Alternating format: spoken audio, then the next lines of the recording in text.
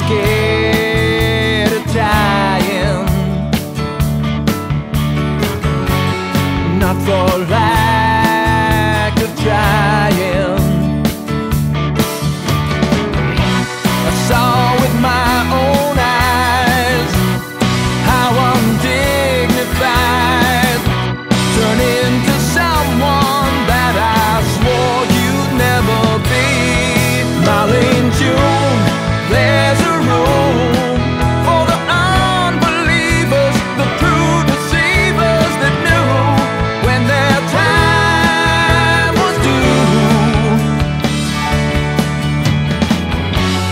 Some people never learn,